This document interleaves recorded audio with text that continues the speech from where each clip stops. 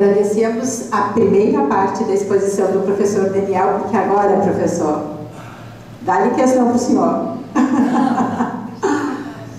Nós vamos convidar os nossos debatedores e o professor Daniel para comporem a mesa. Então, professor Daniel, Fred, Frederico, nosso gerente de monitoramento e alerta da Secretaria de Estado da Defesa Civil, o professor Juarez Almonde, que é o nosso expositor é, da palestra do período noturno e é professor da FURB, e temos o Moisés, que é o coordenador regional de defesa civil é, de Santa Catarina, na região de Tubarão. Então, vamos lá?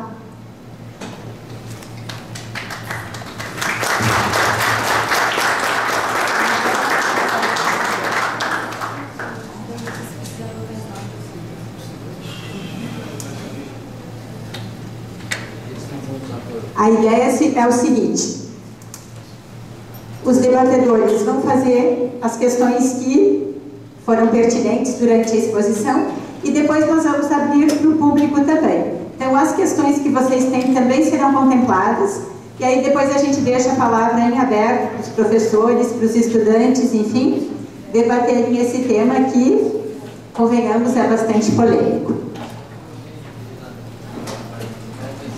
Ai, desculpa professor Ismael, que já é nosso professor aqui da Unisul. O Moisés vai ficar para o período noturno. Vamos começar por quem? Vamos dar aos nossos visitantes. Então vamos começar pelo professor Juarez ou pelo Fred?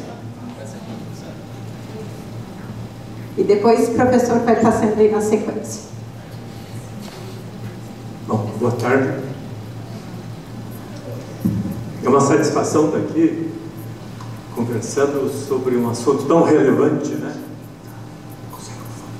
E também tão controvertido.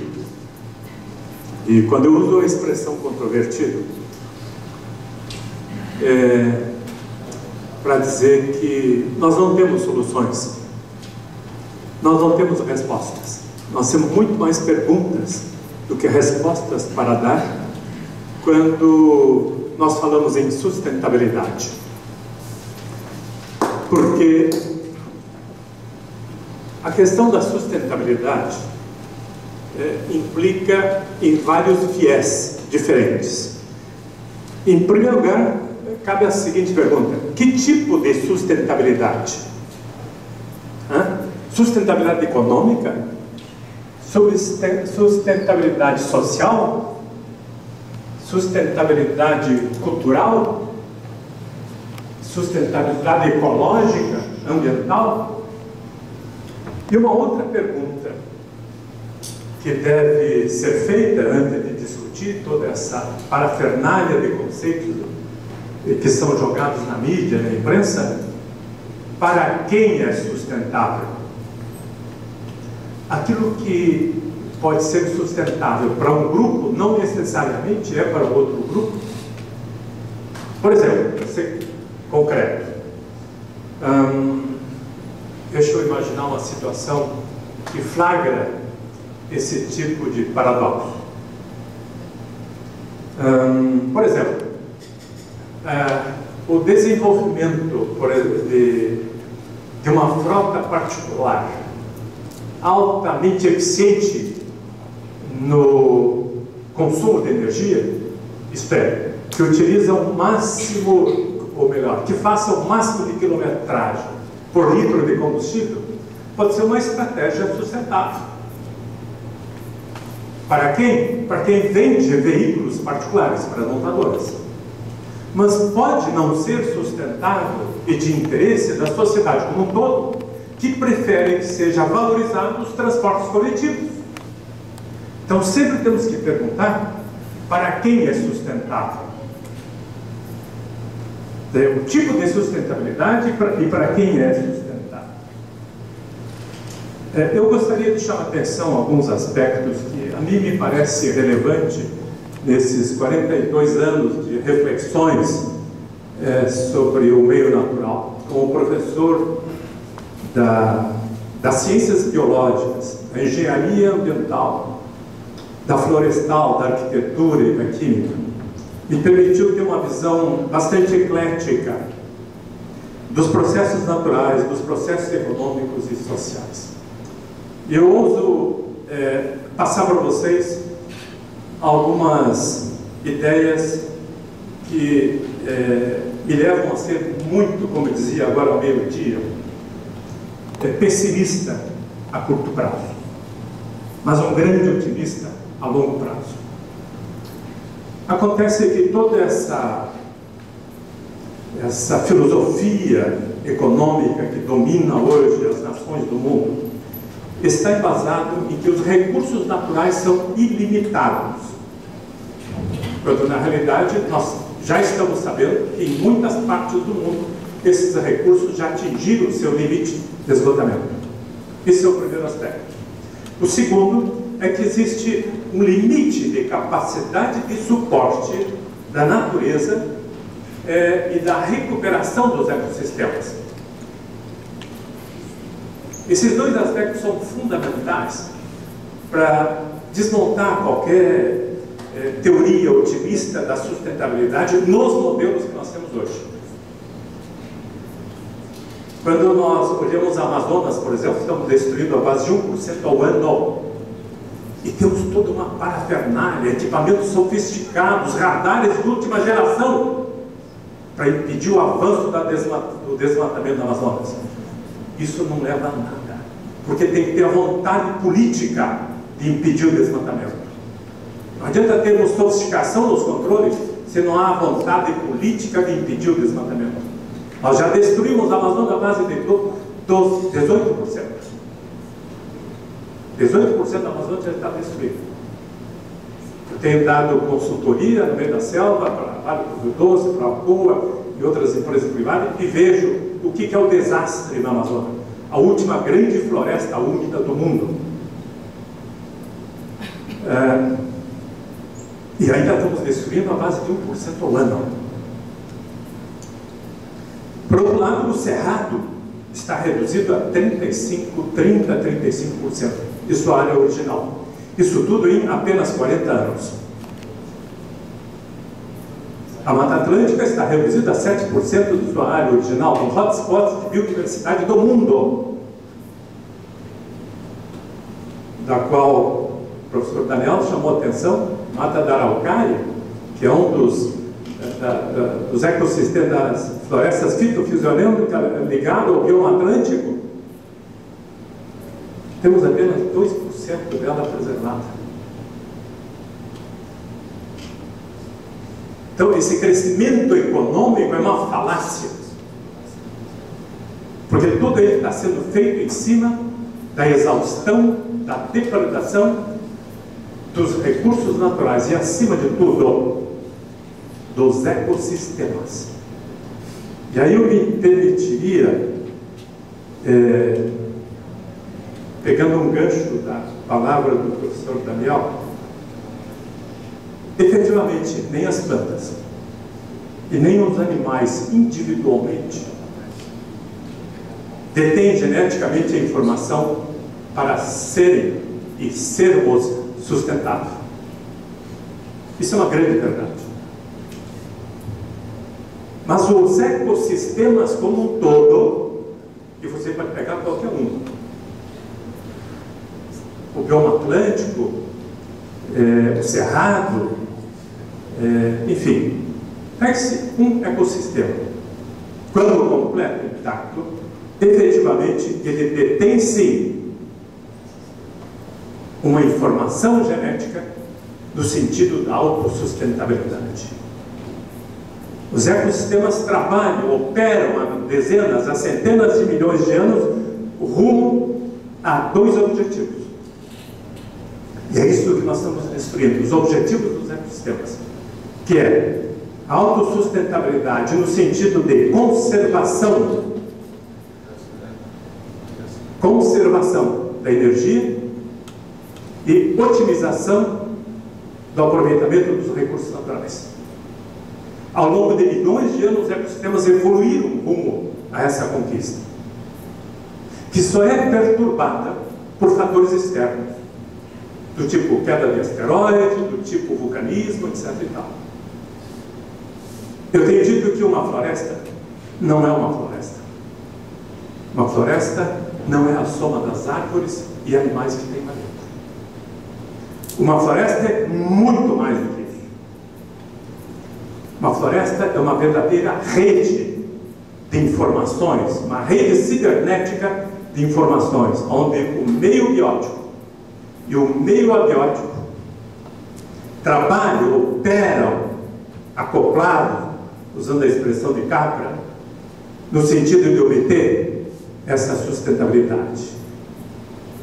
Quando cai uma árvore dentro de uma floresta, ela tem sua capacidade de resiliência. Ela abre uma clareira no meio da floresta e ativa com a radiação solar as espécies pioneiras, que em pouco tempo cicatriza aquela, aquela, aquela clareira. Ou seja, uma célula animal ou vegetal detém muito mais informação do que o mais sofisticado dos nossos computadores. Agora, pensem comigo, o que é uma floresta em termos de variedades de espécies vegetais, animais, todos interconectados, mantendo aqueles dois objetivos da evolução dos ecossistemas rumo a uma complexidade e cumplicidade entre o meio biótico e abiótico. Essa conquista de dezenas, centenas de milhões de anos está aí. E o que nós estamos fazendo com ela? Destruindo essa rede cibernética, essa rede de informações. Essa tecnologia fantástica de autossustentabilidade e de resiliência. É... Bom, eu não quero me prolongar muito, teria outras questões aí para falar. Por que, que eu não acredito na sustentabilidade nos modelos atuais? Mas eu acho que isso vai dar oportunidade no decorrer do debate. Bom, primeiro, é um prazer muito grande estar aqui, né, e, especial pelo professor Daniel. É, ele foi professor do meu irmão, curso de Engenharia Sanitária Ambiental, já, já conhecia bastante as histórias né, dele, mas agora estou tendo mais a oportunidade de conhecer pessoalmente, inclusive no envolvimento no projeto desse, da, de vulnerabilidade na bacia do Araranguá. E também o professor Juarez, né, que eu tive o prazer de assistir uma palestra dele logo após a de 2008, na Univale, Itajaí, e, e já fiquei encantado já pela, pelas suas ideias e pelo de como, do entendimento da questão da vulnerabilidade, da questão dos desastres e do funcionamento é, dos sistemas como um todo.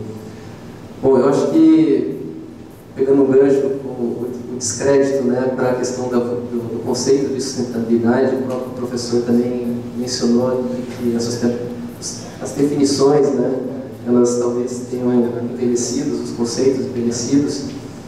Eu lembro que na, eu me formei, eu entrei na faculdade em 96, fiz oceanografia no Rio Grande, e, e eu lembro que no, durante o curso se falava muito no contexto, no conceito de sustentabilidade, já se falava bastante na questão do, da, do, do aprendizado adaptativo, né, e do gerenciamento adaptativo e da capacidade de suporte. E o conceito de sustentabilidade está muito ligado à capacidade de suporte, né? o quanto que o sistema ele, capacidade, ele tem capacidade de existir frente a uma exploração. E, e, e, isso ele tem um conceito muito exploratório e de desenvolvimento econômico. Né? A sustentabilidade está muito vinculada ao quanto a gente consegue desenvolver, ou seja, a maior taxa possível de desenvolvimento sem que o sistema se colapse. Né? E talvez eu acho que esse conceito está tá ficando um pouco mais ultrapassado. Né? A gente está vendo que existem outras definições, né? e, e, eu acho que a própria experiência que vocês tiveram ali na, na mais 20, de mostrando outras definições e outros componentes importantes na questão da sustentabilidade. E, eu vejo que a gente tem que trabalhar, ir muito mais no caminho assim de, de buscar, na verdade, ter sociedades mais resilientes, né? Eu, eu acho que o termo de resiliência, ele, ele é mais novo, mais recente, na, na questão do desenvolvimento e da sustentabilidade. E, e eu vejo assim que, é, principalmente após o, o Marco de Rio, né, se tem trabalhado na questão da resiliência, mas ainda de uma forma muito tímida. Se tem trabalhado muito a sustentabilidade de formas mais compartimentadas. Né? Ou seja, como produzir um, um, um equipamento ou um, um, automóvel com maior eficiência, como é, reduzir a nossa pegada ecológica, mas de forma também compartimentada, mas não se tem pensado as cidades, os municípios, os estados, os países, de uma forma mais sistêmica e conectada. Né? E, então, eu vejo assim que a gente tem que buscar soluções muito mais de como é, manter esse funcionamento mais harmônico, como o próprio professor disse, a resposta está nos ecossistemas, eles já se funcionam de uma forma muito mais de conservação da, da energia, conservação dos, dos recursos, e a gente trabalha com um modelo muito mais de migração de recursos, migração de energia, e de uma forma totalmente é, voltada para o próprio colapso. Né? Então, e a gente vê na própria, eu não, não, não pude participar da, da mais 20, mas é, a gente escutava que também ela foi um pouco ofuscada até pela, pelas questões econômicas, né, da própria crise, né. Então, todo o conceito de sustentabilidade, ela está nesse, nesse dilema com relação à sustentabilidade econômica e da, da própria... E hoje a gente vê como realmente a gente está numa crise é, de, de, de sistema, de economia, de sociedade, de cultura, e eu acho que a gente tem que justamente buscar é, ter ações mais assim de, de, de aprender com os ecossistemas e poder é, ter sociedades mais resilientes, ou seja, sociedades que, que são capazes de aprender com o ambiente, de produzir sistemas mais é, com fluxos de energia mais sustentáveis, de poder absorver, por exemplo, os impactos. A gente não, não ouve muito falar é, a gente se fala muito em, na engenharia dura, né, de, produzir barragens e, conversão de encostas, mas se fala talvez pouco de buscar é, zonas de amortecimento, de cheias, ou zonas de amortecimento de, é, de produção de água ou de, de, conservação da natureza, que na verdade esses sim são é, sistemas que estão capazes de nos proporcionar uma sustentabilidade a mais longo prazo e uma melhor resiliência frente aos desastres naturais. Então, as, as, eu acho que, como o professor disse, a gente tem muito mais perguntas do que respostas, né? E eu acho que a gente está aqui justamente para levantar essas perguntas, né? De debater sobre essas questões que hoje estão, temas que estão em crise, né? Estão mudando, estão se modernizando e eu acho que realmente é, algumas questões elas tem acontecido, a gente tem que reconhecer isso. É, um exemplo disso eu vejo a própria política de defesa civil, né, ela tem um conceito muito mais moderno né, de, de entrar nessa questão justamente de prevenção, preparação, é, investir muito mais na questão da, de ações pre, é, preventivas, na resiliência, na integração com outras políticas, na adoção da, da bacia hidrográfica como unidade de planejamento, já pensando na articulação por exemplo, com a política de recursos hídricos e saneamento e do desenvolvimento das cidades, enfim, já entrando, inclusive interferindo na questão do planejamento das cidades. Então, eu vejo que a gente tem mecanismos, né, as políticas elas estão se modernizando, existem ações que estão incipientes, na verdade elas realmente chegaram, acho que um pouco atrasadas, mas que as perspectivas elas são boas. A gente tem que justamente buscar agora é, incorporar essas políticas e, e, buscar aprender com elas e poder implementar elas da melhor forma possível. Acho que é isso passar.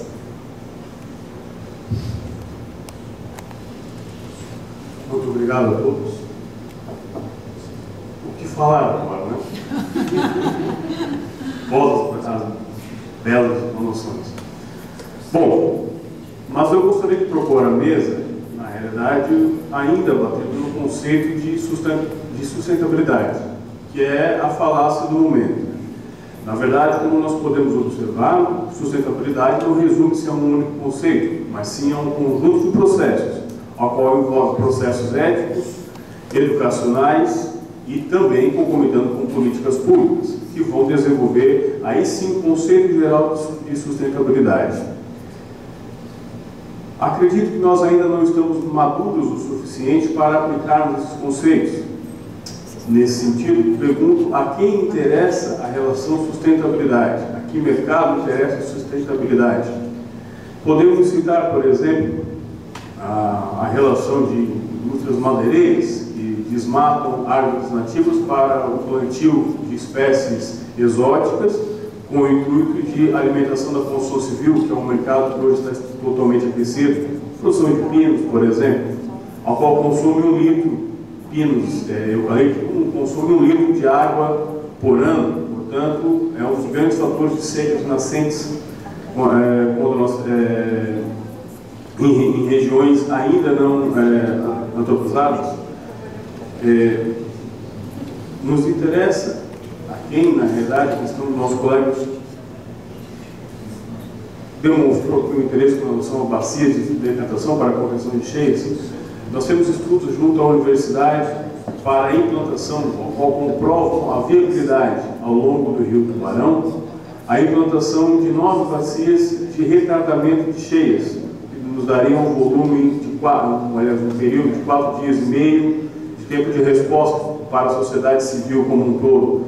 Isso para ações de política públicas para retardo, então é um fato de minimizar os efeitos, mas não agindo efetivamente na causa, até por entendermos que a causa é uma função natural né, e cíclica, ela vai acontecer, mas que há uma grande dificuldade de evoluir esse processo, ou seja, sair do papel para a sua execução, por questões financeiras. São, são grandes áreas que precisam ser desapropriadas, são áreas que hoje possuem culturas.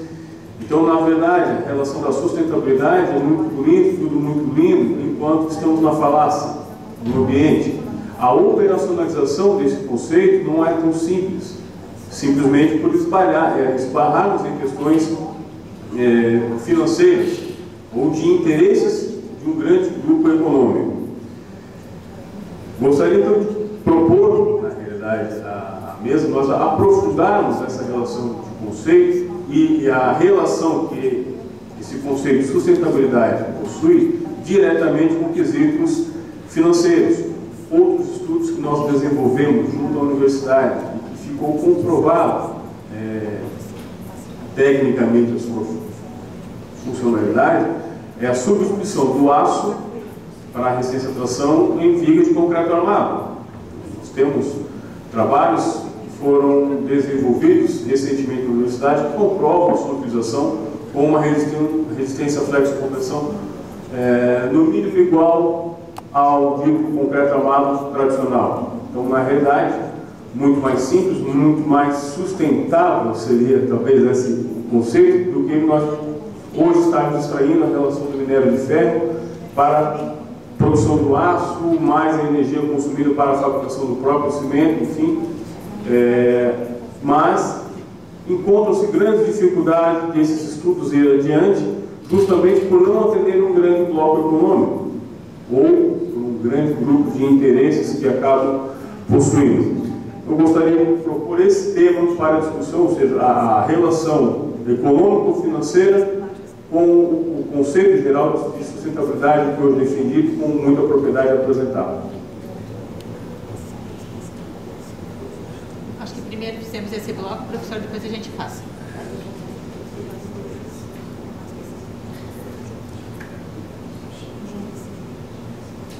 eu gostaria de uh, agradecer muito essa oportunidade, Regina, de conhecer o Ismael e o professor Romon, de quem eu confesso a minha satisfação por eu também já tinha notícias suas.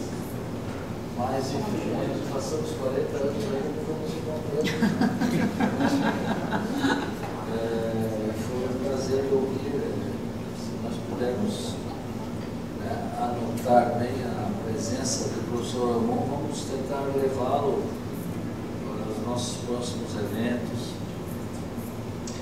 Ah, o Fred também, Fred, é claro que nós estamos iniciando um trabalho conjunto, que também nos agrada, enfim, a tua participação, as tuas colocações. Eu ah, quero valorizar um aspecto de cada uma das, ah, das apresentações de vocês para que a gente possa passar para também a audiência com as pessoas da sala. Bom, primeiro, a, a satisfação de ouvir do, do professor Romão é a questão dessa, do aprofundamento a respeito da palavra sustentabilidade. Eu acredito que nós uh, precisamos aprofundar as nossas questões. Se nós temos mais perguntas que respostas, eu digo isso não é ruim. Isso não é ruim, porque quando nós temos uma resposta, cuidado, ela pode estar errada. Então eu digo, é muito bom ter sempre mais perguntas do que respostas. E, é, e, por exemplo, aprofundar a questão da compreensão genética é, da palavra sustentabilidade, dos fenômenos da sustentabilidade, poderá nos permitir construir respostas mais simples, mais pequenas com maior chance de acerto. Né?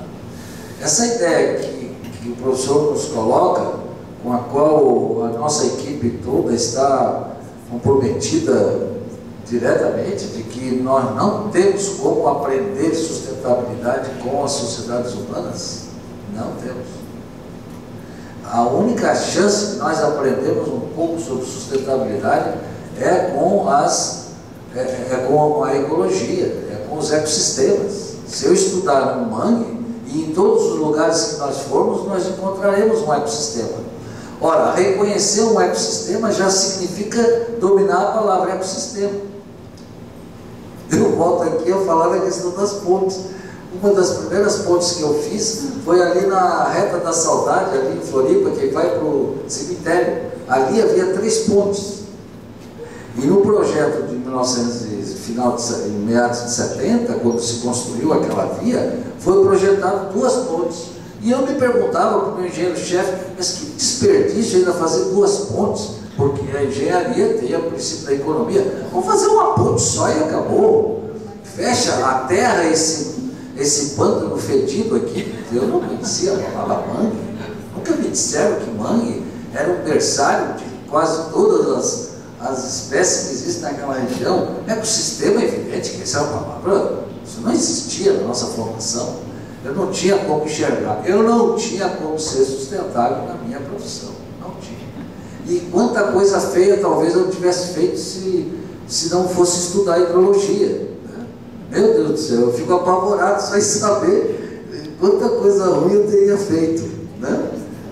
Então, eu acho que a ideia de estudar a, a sustentabilidade é, que sai das palavras do, do, do professor Almon, eu acho isso muito, muito legal, se nós puder trazer isso para dentro das nossas universidades, para nossos, nossos currículos escolares. Será se os psicólogos têm uma ideia do que é um ecossistema? Os médicos, eles têm ideia? Eu acho que esses caras não sabem nada disso.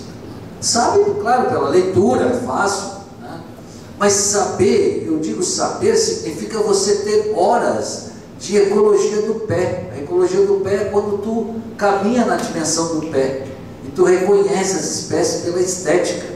Eu conheço a folha de uma porque eu sei identificar a estética da folha, que é diferente de todas as outras que tem no mangue e assim por diante. Então essa ideia da ecologia do pé. Eu queria dizer que, meu Deus, se nós pudéssemos trazer mais tempo de campo ecológico para todas as Imagina a pedagogia. A Unisul deve ter diversos cursos de pedagogia. Que professor estudou ecologia na ação? A professora de Sam deve responder isso. Eu acho que não, não tem, né? Não tem, não tem, gente, não tem.